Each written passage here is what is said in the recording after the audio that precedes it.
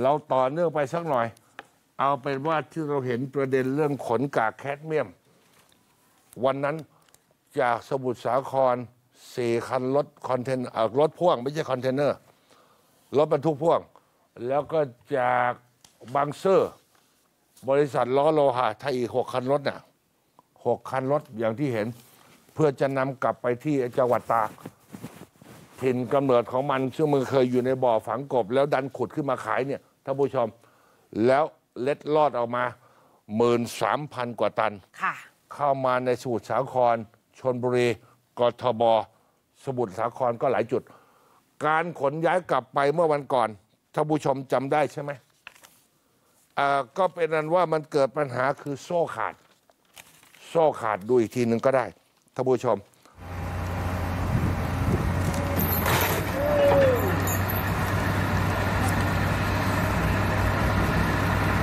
นี่จะเห็นภาพแบบนี้ ผมจะบอกต่อไปว่าเมื่อวานนี้ ถ้าฟังจากปลัดกระทรวงอุตสาหกรรม ซึ่งรับผิดชอบเรื่องนี้ เพราะเป็นประธานเรื่องการขนย้ายเนี่ยน้องใบร์ทค่ะ โดยสรุปก็คือเมื่อวานนี้ท่านนัทพลวังสิทธิพลปลัดอุตสาหกรรมประธานก็มาทำงานแก้ไขปัญหาและขนย้ายกากแคดเมียมไม่ให้กระทบต่อประชาชนบอร์ดนะครับคณะกรรมการได้ตรวจสอบการขนย้ายกากแคดเมียมทั้งหมด ที่จะกลับไปที่โรงงานที่จังหวัดตากพบว่าการทดสอบต่างๆ ทั้งการทดสอบการซ้อนถุง การทดสอบการมัดปากถุงป้องกันการรั่วไหล การชั่งน้ำหนัก การชักอะไรตัวชักอย่างตัวอย่างเพื่อทดสอบ การระบุรายละเอียดและหมายเลขถุง การทดสอบการโหลดถุงแคดเมียมขึ้นรถ การทดลองขนย้ายเป็นไปด้วยความเรียบร้อย แต่มาพบอุปสรรค ปัญหา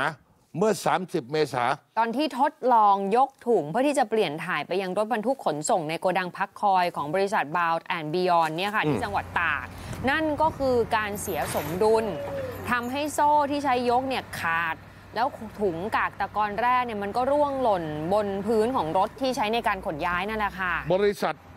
ก็เลยใช้เครื่องดูดฝุ่น ดูดผงกากตะกอนแร่เอาไปเก็บรอการฝังกลบ ส่วนถุงบิ๊กแบ็กชั้นในมันไม่ได้ขาดค่ะอะแล้วดูดฝุ่นอะไร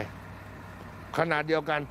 เมื่อเกิดเหตุการณ์ทั้งหมด ได้สั่งหยุดการขนย้ายและดำเนินการทุกขั้นตอนคือหยุดหมดเลยและโดยบริษัทเปลี่ยนไปทดลองใช้แผนสำรอง พบว่าไอ้แผนสำรองอะย้ายกากตะกอนแร่แคดเมียมได้ปลอดภัยกว่า คณะทำงานยังเปิดให้มีการแสดงความคิดความเห็นจากหลายฝ่าย เพื่อร่วมกันหาทางออกแก้ไขปัญหา รวมทั้งตรวจสอบความพร้อมของพื้นที่ลงเก็บอีกครั้งหนึ่ง มีการถมบดอัดดินเพื่อยกระดับ ปูพื้นด้วยพลาสติก และปูทับด้วยแผ่นดินเหนียวสังเคราะห์ป้องกันการปนเปื้อนของกากตะกอนแร่ลงสู่ผิวดิน แล้วการจัดเก็บถ้าสมมติว่าเอาเข้าไปโดยถุงไม่ขาดโซ่ไม่หลุดเนี่ยนะจะต้องเอาผ้าใบคลุมอีกชั้นหนึ่งป้องกันฝน ป้องกันน้ำที่จะเข้ามาในโกดังนะคะ นอกจากนี้ บริษัทก็เลยทำเป็นรางระบายน้ำทำระบบบำบัดน้ำที่ไม่ให้มันระบายออกมานอกโรงงาน ผู้แทนชาวบ้านในจังหวัดตากยังเป็นห่วงเป็นใยเกี่ยวกับความมั่นคงแข็งแรงของพื้นผิวสถานที่จัดเก็บ แล้วก็ขอให้ชะลอการขนย้าย ก็เลยทดสอบทางวิศวกรรม ถึงความแข็งแรงของพื้นผิวโกดังพักคอย เดี๋ยวจะใช้เวลาในการตรวจสอบ 3 วัน รวมถึงต้องทดสอบบ่อด้วยที่จะเอากลับไปกบอะ ว่ามันมีการรั่วไหลหรือไม่นะคะ อืมเพราะฉะนั้นทั้งนี้ทั้งนั้น ทั้งหมดนี้ที่ประชุมรับทราบผลการทดลองอาด้วยความเคารพผมอาจจะตกข่าว ไอ้วันที่ขนไปเมื่อวันที่ 30 อะ เราได้ยินว่าเป็นการเริ่มขนไม่ใช่เหรอ ค่ะ เที่ยวแรก วันแรกอ่าทำไมถึงขนาดนี้นั่นคือการทดลองเหรอ ท่านบอกสิบคันน่ะ อย่างแล้วขาดตั้งแต่ถุงแรกเลยนะที่ยกอะค่ะ เอาเป็นการทดลองเหรออ้าวทดลองก็ทดลอง เอาเป็นว่าเมื่อทดลองได้เห็นปัญหา ก็ได้ดูทุกอย่างครบถ้วนแล้วจะเริ่มขนย้ายกลับไปจังหวัดตาก อีกครั้งเอาหจรินึ่งงเอาจริงใช่ไหมเอาจริง เอาจริงวันพรุ่งนี้ค่ะ 3 พฤษภาคม ขณะที่ดรเอประชาธิปัตย์เมื่อวานนี้ก็ยังตามชำแหละ ไล่ประเด็นเลยท่านผู้ชม เป็นต้นว่าเปลี่ยนรถบรรทุกกากแคดเมียมให้ทำอย่างนั้นบางคันเนี่ยคุมไม่มิดชิด ทั้งที่เพิ่งขนไม่กี่คันและเดี๋ยว ดรเอเขาทดลองออันนี้ แล้วก็ต้องขนอีกเป็นร้อยๆเที่ยวแล้วมันจะเกิดอะไรขึ้นท่านบอก เพราะฉะนั้นต้องใช้รถบรรทุกตู้ปิดทั้งหมด ต้องติดป้ายระบุให้ชัดเจนด้วยว่านี่คือวัตถุอันตรายค่ะ แล้วก็ต้องเป็นคอนเทนเนอร์หรือยังไง ค่ะ แล้วบอกระหว่างขนย้ายต้องมีกรรมการตัวแทนชุมชนนักวิชาการร่วมตรวจสอบจึงจะเคลื่อน การขนย้ายมีขบวนต้องมีทีมป้องกันปัญหา ถ้าเกิดมันคว่ำขึ้นมาอะไรประมาณนั้น เซยกถุง big bag ก็ต้องใช้วิธีที่ถูกหลักป้องกันการตกหล่น หรือว่าเอียงเสียศูนย์ อุปกรณ์ทุกส่วนต้องได้มาตรฐานทั้งหมดต้องผ่านการคำนวณทางวิศวกรรมมาแล้ว ว่าขนได้ และภาพการขนรถแรกที่ใช้แบ็คโฮขึ้นไปจอดบนเนินที่ทำขึ้นชั่วคราว เพื่อให้สูง แล้วพอจะยกนั่นนะคะคือให้มันสูงพอจะยก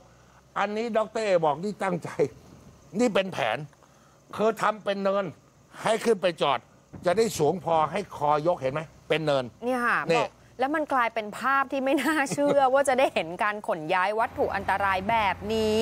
แสดงถึงความไม่พร้อมของอุปกรณ์และการหละหลวมในการวางแผนแบบชัดเจน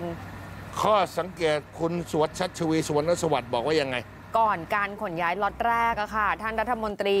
อุตสาหกรรม ท่านออกมาให้สัมภาษณ์อย่างดิบดีเลยว่ามีความพร้อมในการขนย้าย แต่พอลงมือทำจริงๆละหลวมมาก จนน่าสงสัยว่าเอ๊ะท่านรัฐมนตรีถูกข้าราชการวางยาหรือเปล่า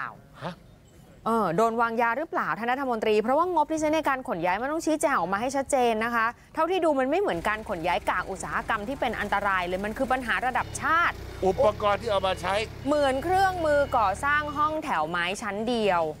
วางยาหรือเปล่าเหรอบอกหน้าอนาถมากอานาถด้วยเหรอเขาทดลองบังเอิญเราเพิ่งรู้ว่าเขาทดลองเจ็ดเวลาเจ็ดนาทีเรื่องเราเช้านี้ได้กลับมาฮะ